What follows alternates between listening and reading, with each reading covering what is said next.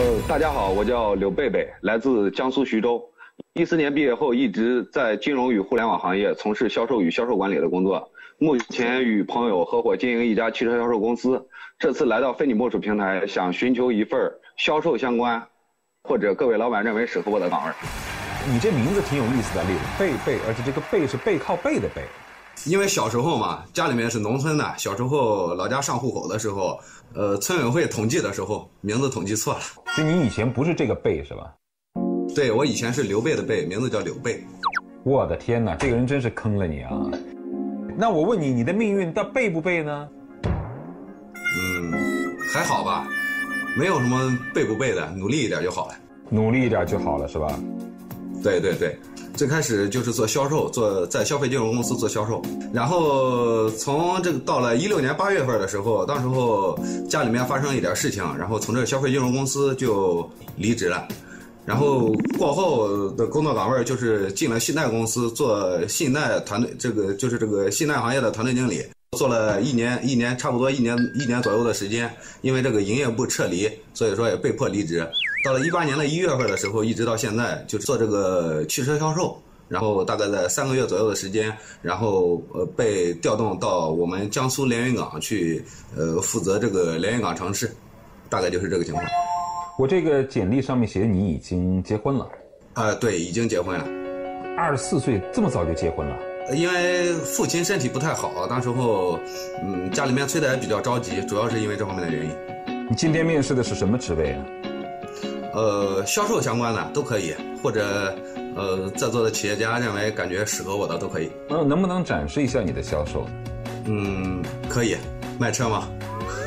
我们就卖给郭兰好不好？他刚刚这个人不会开车，他老挪车，把车挪坏了。呃，可以。嗯。你好，郭兰，郭女士。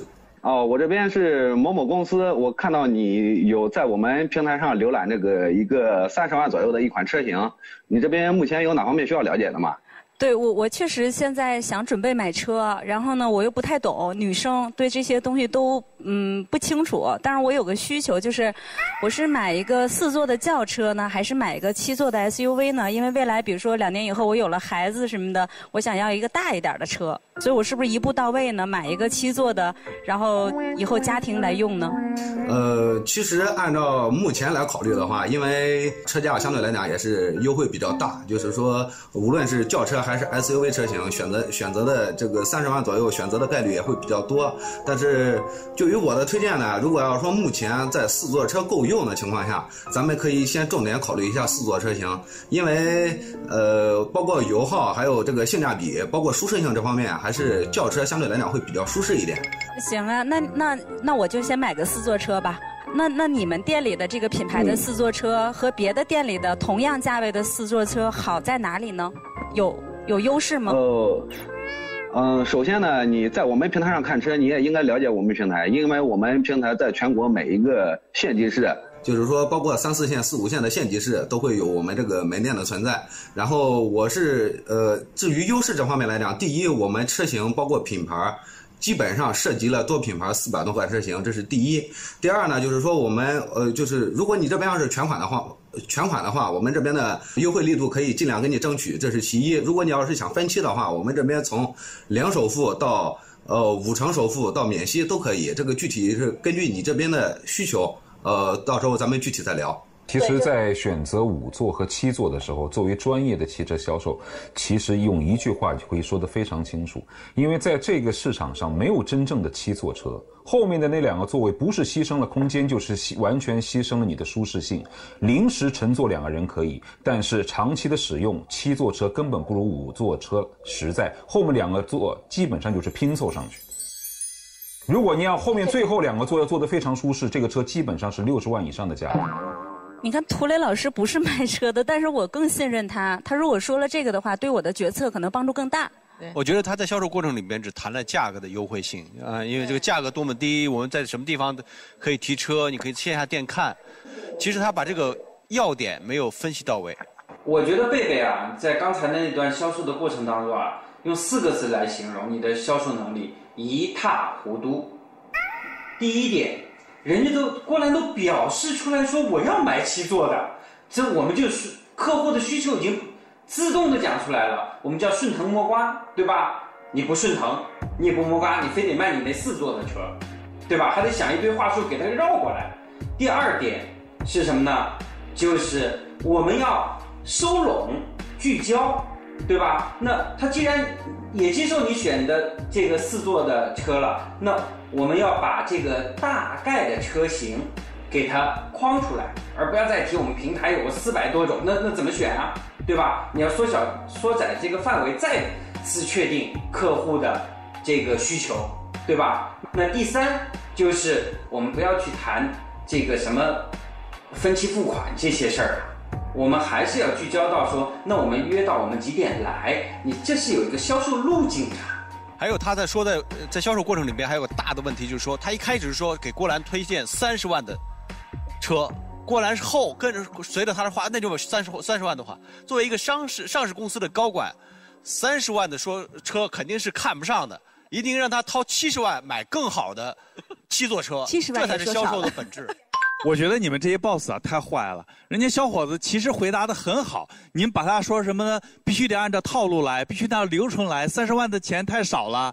我觉得你们要不是朝曦老师，我要打断你不不不。他说的是还是按照他原来过往那个平台的那个销售套路，真的就像周伟说的一样，他其实没有在需求探寻的环节去澄清这个问题。明明你可以有更大的需求可以挖掘出来，但是你没有深挖呀，然后你就想着说就是那个三十万。那个潮汐就特别喜欢帮着选手，他觉得这样很出彩。但是在这个问题上，选手真的是不合格，因为他是一个从一八年一月到现在两年多的老销售了，所以不要事事都帮着别人，知道吗？错了，我告诉你们，你们恰巧忽略了一个在舞台上无实物表演跟现实生活中真实销售的差别。因为他不是一个演员，他不知道我们在台上给他出题的时候，其实是让他他只需要模仿就行了，没有因为不是需要他表演，他他做的是他的老本行，好吗？好了好了好了，潮汐你别激动。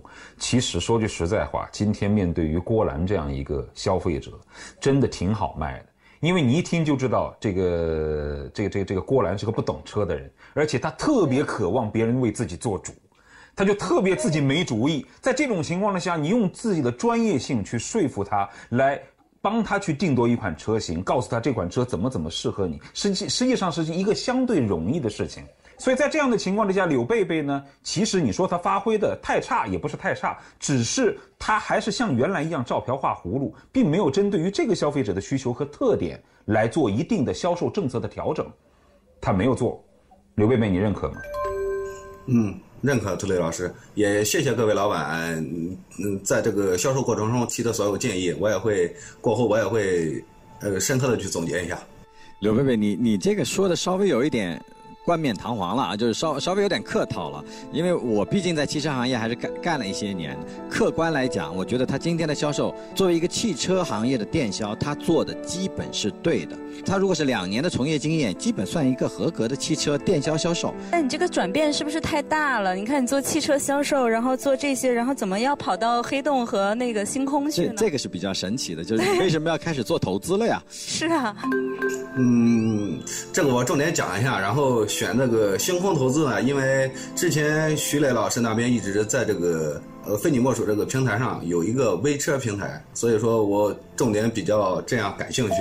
然后到黑洞那边呢，呃，我纯属就是因为这个呃经常观看这个节目，对嗯黑洞老板比较认可。哦，哎呦，其实是冲你来的，我只是个陪衬。贝贝贝贝，我我就是要质疑你了。我说你这是你的工作的动机是有问题的，对不对？你选择工作工作动机是目的是为了什么？为了学习还是为了娱乐？我看你的理这个求职理理想的这工作状态是学习娱乐等于工作，完全不把给他们带来价值当做第一位的事情来考虑啊。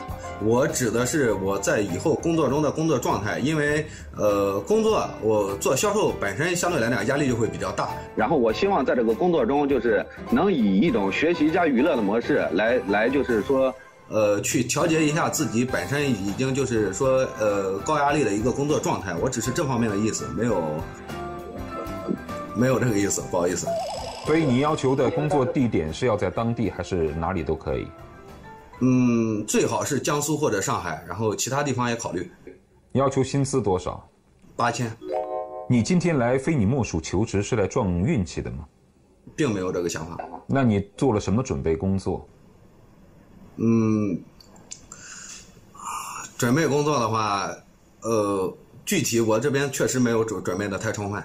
如果你真的要来面试一份岗位的话，你的岗位、你的求职意向、你的企业和行业都会非常的清晰。嗯，是的，确实没有做好。行吧，那我就不问别的了。来，第一轮选择去火流。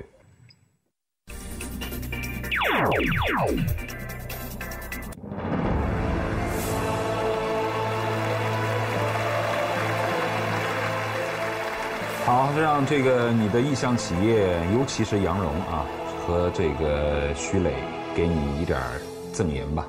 其实我觉得你在老家把这个汽车的呃销售工作好好做好，呃其实是正道。因为今天刚有数据出来，中国的这个汽车销售量又开始走到这个上升通道，而且疫情以后大家买车的需求也很大，这个行业还是一个非常朝阳的行业，所以你有这样的资源，有这样的经验，呃，认真把这个事儿做好，可能比去到一个完全陌生的领域有更好的机会，这是我灭灯的一个原因了。也希望你继续把自己的这份事业做好。好的，好的，谢谢。贝贝，因为是这样哈，我觉得因为你就是虽然才二十多岁，但是你已经成家了，而且我所以我觉得你其实，在老家去继续创业，又能兼顾家庭，又能把事业做好，我觉得对你来说是特别好的。好的，谢谢谢谢。好的，贝贝，希望你下次准备好了之后，再到非你莫属来。